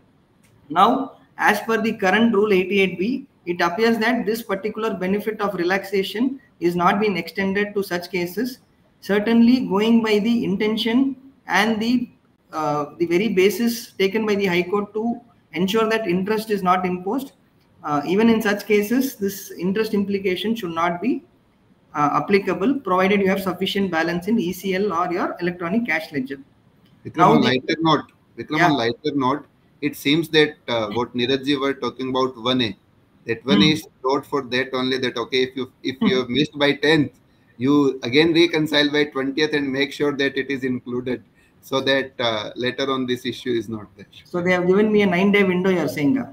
Yes. But certainly we will still stand before the High Court of Madras and challenge this uh, if there is an interest exposure. Uh, second is uh, again going back to the scenario what if interest was paid in the past because uh, I though I had cash balance department did not accept and admit so I was forced to maybe discharge the interest liability or it was a uh, a, a, decision taken by the management to discharge the same. Certainly, again, going back to Ashish's observation, this is not covered under this 11A uh, proposal. This is an independent uh, uh, amendment which is going to be made in Rule 88B as well as the interest provision of Section 50. So here we also have to very well consider the possibility of claiming refund of interest which was paid in the past. Uh, anything else, Ashish, on this slide, or we can no more on this. Yeah. And because I think we are left with almost 15 uh, yeah. minutes. So I think the major uh, points we have covered. If you can quickly take us through this ESOP related uh, clarification which is going to come. So I think in the ESOP issue, the uh, when we look at the economic times or uh, various other medias, many people in the industry have received the notice from department where the department has proposed that if uh, some ESOP are given by an holding company, let us say based outside India, to an employee of the subsidiary company in India. And for that, some charge is recovered by the holding company from outside India, from uh, from the subsidiary company in India. So in that situation, whether Indian subsidiary company is liable to pay GST under the RCM to the extent cost imposed by the foreign holding company, or let us say if it is a domestic transaction, in that situation, uh, uh, whether the Indian holding company is liable to charge GST to the subsidiary company. While the council press release is silent, it only says that uh, there will be clarification on the reimbursement of security as a part of ESOP. But what Vikram, uh, we had taken a view in the past also that this activity of recovering the cost by holding company from subsidiary company is nothing but a transaction in security which is outside GST and also, if you look at from the angle of the Indian subsidiary company, which is recording this expenditure in books of in its books of account, on account of the charge recovered by the foreign holding company, this is part of the compensation package what it is giving to its employee. And once it is part of the compensation package on that expenditure, my schedule 3 will uh, kick in and certainly I cannot be compelled to pay tax under the RCM. Yes, if there are any additional charges recovered by the holding company on some other facilitation stuff or so, those things, uh, unless uh, what you call covered in the composite supply, which is very unlikely, in those cases, to that extent, there could be the liability. This is what the view have taken. Uh, we have taken in some of the uh, these type of issues what have come in the past. Let us wait to see how the council uh, uh, clarifies on this particular aspect. Yeah, and hopefully the logic also is considered by the council when they give this uh, particular clarification. Yeah. So again, uh, yeah, Vikram, maybe some more uh, litigation reduction steps if you could just uh, apprise all of us. Yeah, uh, even before this council meeting, right from 2017, there is a provision in the GST law in section 120 where they have put, they have given a provision where monetary limits would be prescribed or recommended by the council where no appeal would be preferred by the department where in case the amount of tax demand is less than the threshold which has to be recommended by the council. So it has uh, taken uh, almost seven years for uh, the council to give this recommendation. And even while giving the recommendation uh, they have uh, referred to the threshold limit, uh, limits given under the erstwhile regime of central excise. Though it's it is slightly on the lesser side as compared to my central excise threshold limits one thing which has been made very clear is that this monetary limits would not be applicable for cases involving question involving the question of law or a particular provision in itself is being uh, challenged challenged and uh, before the court. So now the question is the threshold limit under the gst law has been made 20 lakhs for tribunal 1 crore for high court and 2 crore for supreme court it appears that uh, the council has completely set aside or ignored the aspect of the inflation or the additional uh, buffer which could have been given. So the this is the threshold which has been proposed. Now the question is, this particular threshold limit is for the amount of tax in demand.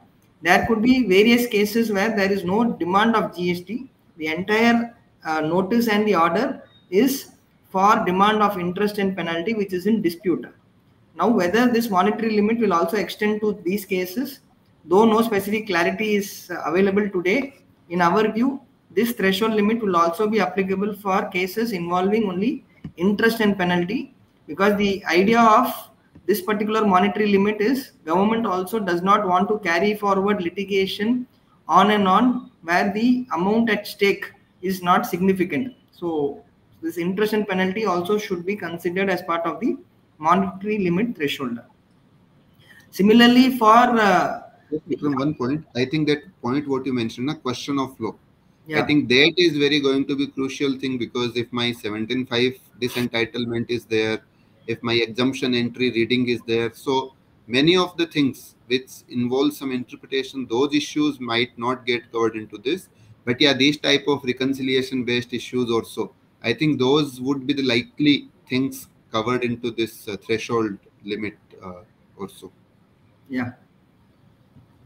Uh, with regard to filing of this appeal before the GSTAT, uh, we all know that there was this removal of difficulty order plus a circular was also issued clarifying that the time limit for filing of appeal will be uh, made at a future date because tribunal itself has not been uh, uh, in place. So the hi- higher limit of the date on which the president or the state president are uh, appointed and they enter the office was given as the threshold to commence the due date of uh, filing of appeal. So recently in the month of uh, May, uh, Mr. Sanjay Kumar Mishra was appointed to the post of the president of the state. With that appointment and the news uh, coming into the uh, coming before the industry, there were a lot of deliberation whether the time limit has already started for filing of appeal before the GSTAT. The irony is there is no physical GSTAT which is available today. It is merely that the president has been appointed. Then uh, whether the time limit still has been kept on hold or it has been commenced has been a matter of a lot of deliberation without clarity. So now the council has given a specific clarity. Even the finance minister in their press conference has made this clear that uh, the time limit uh, for filing of appeal before the GSTAT would commence from a date which will be notified at a future date. So we do not have to think too much and be under the pressure of filing of appeal before the GSTAT. We have enough litigation and matters which have been uh, raked up by the department to take care for now on a lighter note. So we will be waiting for the government to notify a date from which this uh, three month time limit for filing of appeal will be will commence. Uh, one more move towards uh, this particular relaxation by the government is uh, with regard to the amount of uh, pre-deposit which has to be paid. The existing limit of pre-deposit is 10% for the first appellate authority with a value threshold of 25 crores. The maximum threshold given is 25 crore each under CGST and SGST. The proposed limit is retained at 10%, but the value threshold has been reduced from 25 crore to 20 crore each, which is 20 crore CGST, 20 crore SGST. For GSTAT, the earlier pre-deposit was 20%, which was in addition to the 10%. So effectively, taxpayer was required to pay 30% if they are going to go on appeal before the GSTAT with a value threshold of 50 crore each. Now this has been proposed to be reduced to 10% with a ma maximum value uh, threshold of 20 crore each. So certainly there is some relaxation given by the council to ease the cash flow burden on the taxpayer if they are going to proceed and file appeal before the tribunal. Ashish, we have touched a few times on the section 11. 11 I think is not needed. Uh, we have already sufficiently Correct. on this. So quickly we'll go through these uh, key changes with regard to the insurance sector. It is one of the major offshoot and the beneficiary from this introduction of section 11A where the insurance sector has gone through a lot of uh, pains in the last few years because of the practice taken by the industry as a whole.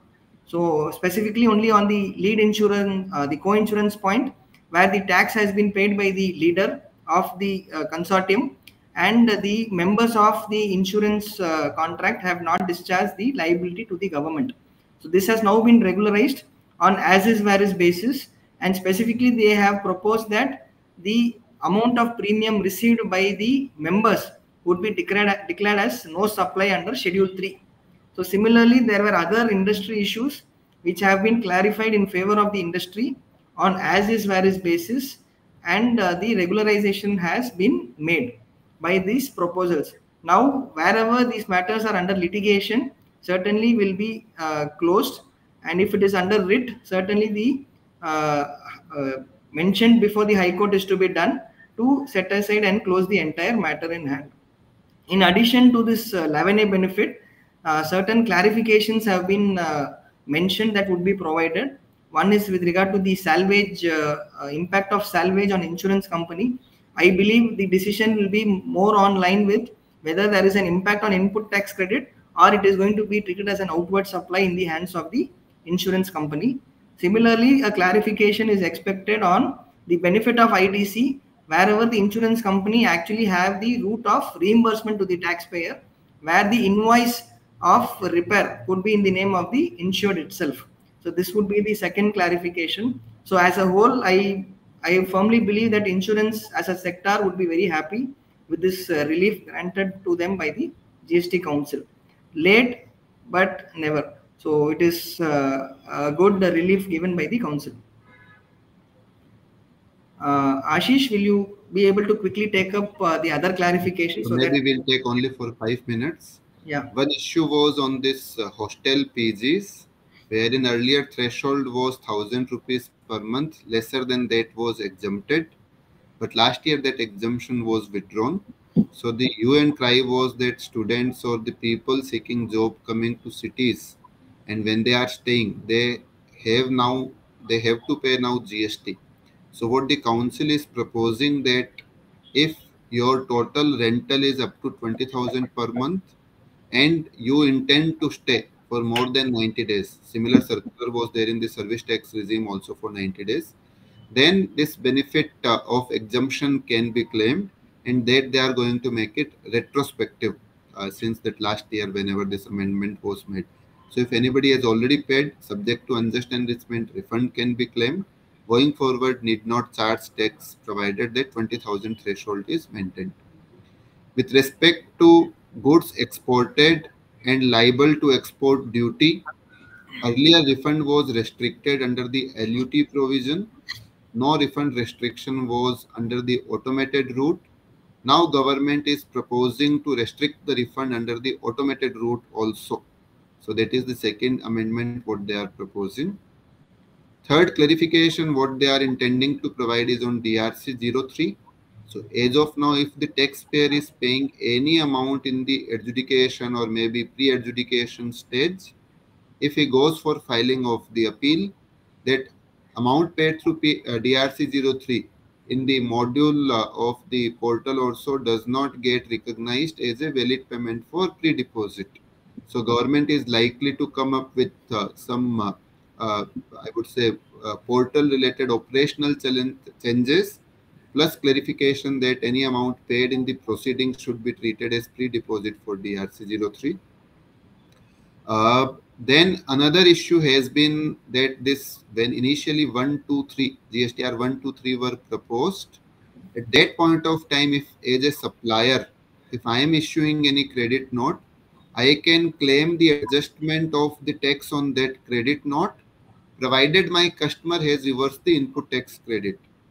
But in 1, 2, 2A, 3B, not possible for the supplier to ascertain whether the uh, customer has reversed the input tax credit. Rajasthan High Court, in case of HUL, has instructed the council to provide some mechanism for that. It is uh, what the council clarifies that they will come up with some mechanism to uh, uh validate by the supplier if customer has reversed the input tax credit. Not sure how it would be done.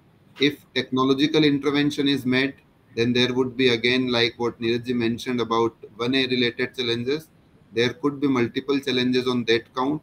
If they provide some offline type of confirmation mechanism, like what Circular 183, 193 was provided for uh, 2A related declaration from the customer or his supplier or his CA if they provide something like that, then it is going to increase the compliance burden. So this is going to have a major ramification on the whole compliance related aspect. Then this rule 42, 43 for insurance company, again, very specific to life insurance. We can skip for the deliberation uh, as of now. Taxability of loans granted. In some of the cases, department has imposed demand on the activity of extending loan also. So there it appears that council intend to clarify that this activity of extending loan which is covered in the exemption notification, it cannot be made liable to GST. Then refund of additional IGST paid on export of goods. So sometime what happens, my export price gets increased either in the exchange rate fluctuation or otherwise. So if my original export was on payment of tax, wherein my refund was given to me based on matching between R1 and shipping uh, that ICEGATE, that mechanism is not available for the what you call supplementary invoice or additional amount recovered by the exporter from the foreign party. So in that situation, the council is intending to provide some maybe manual refund filing application for that incremental part of the amount uh, uh, on which tax is liable to be paid by the exporter. TCS rate government has reduced from 1% to 0.5%. ENA excluded from levy of GST when used for manufacture of liquor for human consumption. So when Vikram started deliberation, he touched upon that there might be change needed in the constitution. And I was a little surprised why constitution. Now when I'm looking at ENA, yeah, it comes to my mind that uh, the uh, amendment what they are proposing in the GST Act, it could possibly need some amendment in the constitution also because many of us may not be in that field so technically we will not take it up now but yeah it could require some constitutional amendment. Gstr 9 exempted taxpayer with less than 2 crore turnover. Section 122 1b amended to provide for penal provision only where tcs is liable to be deducted so presently that section imposed penalty on all e-commerce operator now it says that out of all e-commerce operator, only those e-commerce operator where they are liable to pay TCS. If they fail to pay TCS, then only this penalty would be applicable. So it is a clarificatory amendment type of stuff, we can say. Import in SEZ by SEZ unit for authorized operation. Exemption has been given from compensation cess. In this biometric based Aadhaar authentication, which as a pilot basis government had started in the state of Gujarat uh, to curb the instances of the taking registration by the fraudulent people so that now they intend to extend the whole of the country the experience in gujarat has been little tough for the business where what we sometimes get to know that in gst that in the initial phase that taking registration was the most easiest thing which we call as a Bandarbant. But here uh, now this taking registration is the most difficult step in GST and with this Aadhaar based authentication it is going to be further complicated. While it is overall good that uh, uh, bad fishes do not enter but it unnecessarily create the harassment for the genuine uh, people who intend to take registrations. These were some of the additional uh, clarification what had come up. Uh, so uh, our deliberation has been primarily on the basis of the information available and our interpretation of the available information on record. Uh, we would, uh, we all need to wait for the final document from the council to exactly see uh, how things would pan or so. So with this, we conclude our deliberation. Now we can take up any question by the participants. Yeah, pardon me for uh, the bad throat in between. So it is all because of the council. I have to thank the council to make us speak uh, non-stop for the last three days. Yeah. So Molly, are you there?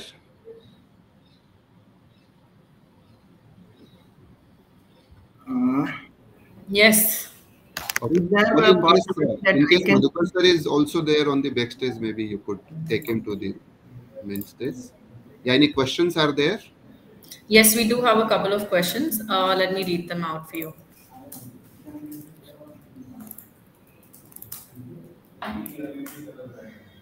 Right. Okay, the first question is How will re-availment of ITC due to amendment in section 16.4 work if such balance is not disclosed in electronic credit reversal ledger? how to defend DRC notices which will be triggered due to excess availment. Okay, so uh, I think this question is coming from that part of deliberation where we mentioned that uh, the 16 for relaxation what government has given. And if somebody has already reversed in the past and in case if government comes up with the refund restriction then one could possibly look at re-availing that input tax credit. So like what vikram suggested and what madhukar sir always suggest is that anything on the input tax credit it is always like our vested right to claim the benefit so when the government is giving this benefit to everybody if i had reversed in the past let it be taken in 3b let it be under an intimation to department also that why we are taking this particular thing. If there happens to be a 2a versus 3b uh, notice whatever that uh, drc 2 1b or whatever this particular stuff because we would have already communicated it under the intimation letter to department. Even if it is uh, even if that uh, litigation generate out of this auto reconciliation or otherwise it would be worthwhile to contest it. You could commercially take a call not to utilize that credit if you want to avoid that incremental interest cost on that. We believe we are of the view that either council in the due course of time would extend the benefit to such bona fide taxpayer also or the court could possibly extend the benefit in that direction also. Taking a worst case scenario even if court does not give that benefit let us say our council does not give, still we have nothing to lose if we are not utilizing that credit uh, line uh, uh, created in our ecl so that is how i would look at in the entire uh, planning of this particular stuff. One additional point here is say your uh, re-availment is under IGST, the portal will not allow you to retain the credit. It will mandate you to utilize the credit. So what we have been advising is that to the extent of that IGST balance, you maintain cash ledger balance. So that that is one option. Second option is even if you have sufficient balance between C and S, which is uh, enough to uh, offset that IGST utilization, even that is a compliance which is already clarified by the uh, board. Yeah. Madhukar, so you are on mute if you are speaking something. You are not audible, sir. Molly, can you check out? Uh,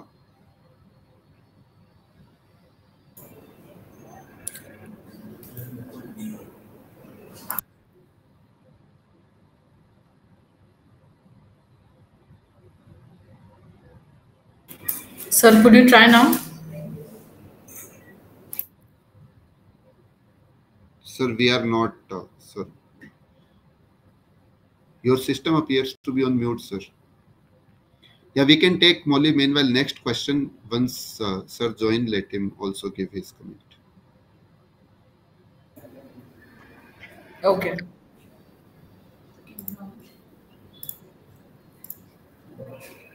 Can you hear me now? Yes, sir, you are audible now. Yeah. A quick point. Wherever you have this issue where the procedures stop you, there is a fundamental right available where you can reverse under protest. So you have to give a letter saying that I am reversing under protest because the system does not allow me to retain it and I reserve the right to go for a full refund. That is another option to whatever options were provided by Ashish and Vikram. Please go ahead. Next question you can take. Yeah. Is the relief of interest and penalty available on order of appeal uh, matter under section 73 or is it limited to SCN order? Vikram? It would cover even matters which are under appeal so you just have to withdraw the appeal in case you decide to settle the demand. But um, important factor is it has to be under section 73 only. And the withdrawal has to be in entirety, not for some of the issues and not for others. In case of related entity, the value mentioned in the invoice be treated as OMV provided the recipient is eligible for full ITC. What is the term full ITC mean? should this be seen from the transaction basis or uh, would it not be eligible if some exempted supplies are there? So, uh, in fact, this uh, this terminology full ITC is not defined under the GST law. If we look at, let us say, there has been a similar provision in the Singapore uh, GST law. This Indian uh, full ITC has been taken from the Singapore GST Act. So there, what it provides that uh, there is some de minimis limit of I think five percent or ten percent. So if there is a denial to the extent of that percentage, still it is treated as the full input tax credit. But in Indian context, if we look at this full ITC, the way this entire provision have been enacted by the government, it has to be looked at qua that particular invoice in respect of which we are intending to claim the input tax credit or where the related party is intending to claim the invoice value as open market value benefit. So if it is back to back for the taxable supply, yes, I can take full credit and would be treated as uh, falling into that OMV. If it falls into my common bucket, common expense bucket under Rule 42, where I am engaged both in taxable as well as the exempt supply, then for me to claim that benefit or for my vendor to claim that benefit that it is a uh, full ITC supply, that would be a difficult proposition to uphold. One more uh, uh, reference which we can draw is that circular 199 where they discussed on this uh, zero as to be a value. There the logic given was revenue neutrality because ultimately whatever is going to be charged will be available as a credit. So government does not stand to lose by having a variation in the pricing for that particular transaction. So it, as Ashish mentioned, it has to be qua the transaction and not the business as a whole. Okay. The next question is How do you see the issue of res- retrospective tax unfolding for the gaming industry since the FM had declined to comment on the same? So, uh, when uh, FM itself has declined to comment, being the highest uh, authority making on this particular thing, it would be very difficult to give uh, comment anything on that stuff.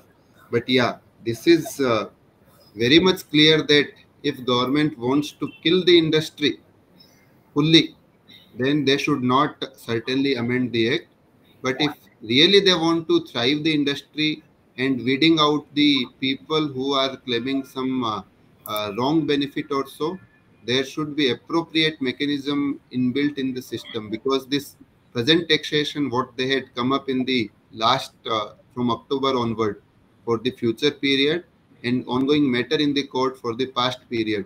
All these are somewhere illegal, constitutionally also invalid, wherein in uh, some of the representation we have put across before the government.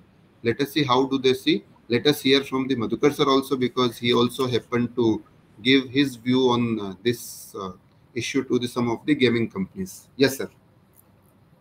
Uh, I think you covered. It should see any taxation the government has some power to make some policy does not mean that it should make policies which are away from basics like there is a right to do business the taxes which the government collects has to be reasonable kautalya in his arthashastra had said government should not collect more than one sixth of what is earned by the people. But now this government uh, and I think earlier governments also have taken 50% or so. Government has to be reasonable. They cannot be stubborn, I would say. In such matters, rather than get this industry can go outside. It's an online gaming industry. They can go out also.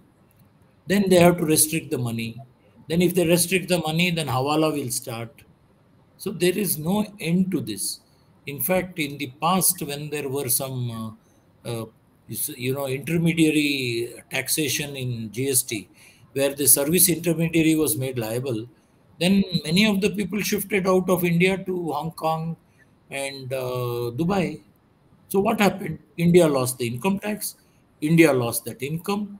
India lost the employment possibility in all these cases. And that's what will happen in online industry if uh, the uh, finance minister continues to be stubborn and look at uh, while looking at income they don't mind but when they look at uh, this industry they talk about many things they can ban it they should say in india we should not have any gambling at all okay fine but they want the income from gambling. No, they want the income from liquor. So they have to be reasonable, is what I think. And I think finally that is what will prevail because the court people will not leave it; they'll continue to go to the court. Okay. And lastly, as per audit observations, the department raised